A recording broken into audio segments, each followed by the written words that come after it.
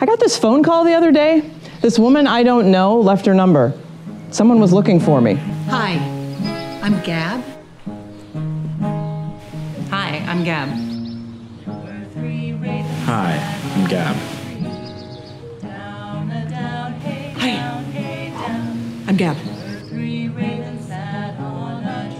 We were a sort very um, a spectacular family because um, your older siblings were dark haired and you were a little towhead. And we were at the uh, Babers ball game and they said, I asked the mom who wore this long blonde hair she wore stacked on her head. I asked her. Are all of these your children?